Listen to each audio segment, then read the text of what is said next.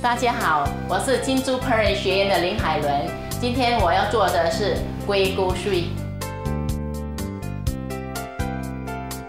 首先，我们把椰糖和白糖放入锅里加水，用小火煮至糖完全融化，再放入香兰叶，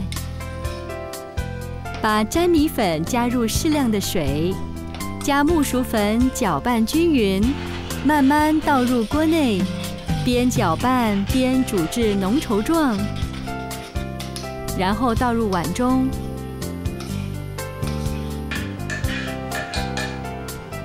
用松厨 Ideal 万用锅，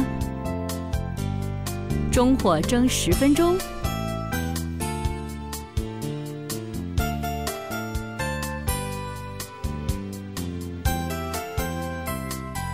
待冷却后倒出。切成小块，沾满椰丝即可享用。